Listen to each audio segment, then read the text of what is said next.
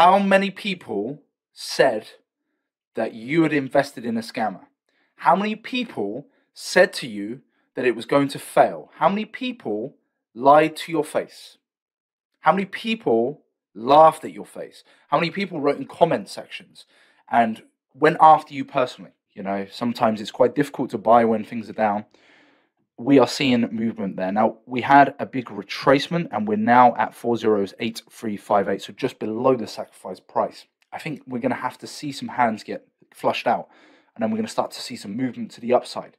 This job is not finished and it's not done for now. Now, looking at the PulseX chart, as you can see here, still not a sacrifice price yet, very undervalued and it's currently sitting at 402634 but huge move up actually a bigger move up than pulse itself in front of me is the pulse hex chart and it's close to its all-time high. I classify it completely different to ehex. I see it as a different product.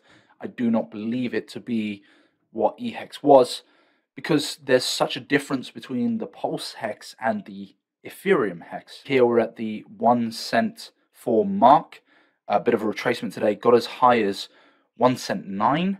And then we have the hex chart, the regular e-hex chart here, and it's just under one cent for the day. Uh, we're seeing big retracement back, right? We've had massive power moves, and you can, okay, we are in a very good position going into the bull market. I couldn't have said that a week ago.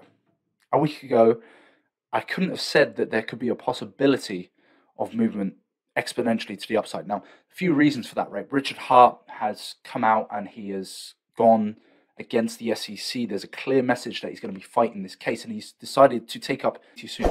Much love.